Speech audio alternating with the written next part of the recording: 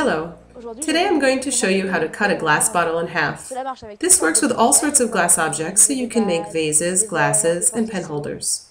Keep in mind that it is strongly discouraged for children as it is very dangerous. Fire and 90 proof alcohol are used. So, to cut a glass bottle in half, we need a pair of scissors, a ball of yarn, flammable 90 proof alcohol, a glass for the alcohol, a glass bottle, a basin filled with cold water, emery paper, a lighter, and a pair of gloves.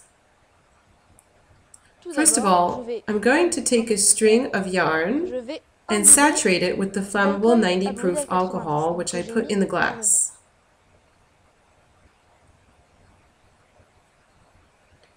I'm going to fish it out with the scissors and tie it around the bottle where I want the cut to be made.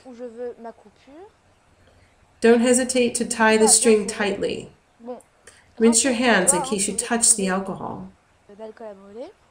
Now we put on our gloves because we're going to light the string on fire.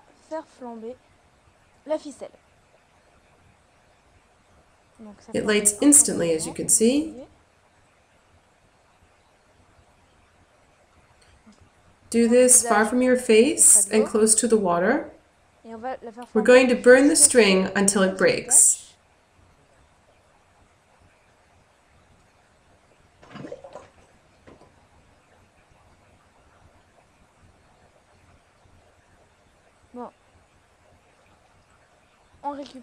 We take out our piece of bottle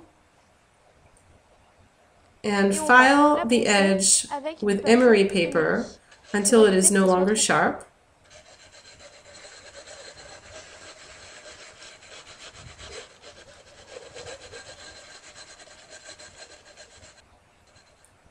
And there you have it. Your glass, vase, or pen holder is finished. The edge does not cut anymore because of the emery paper. You can now use it after rinsing. Have a nice day.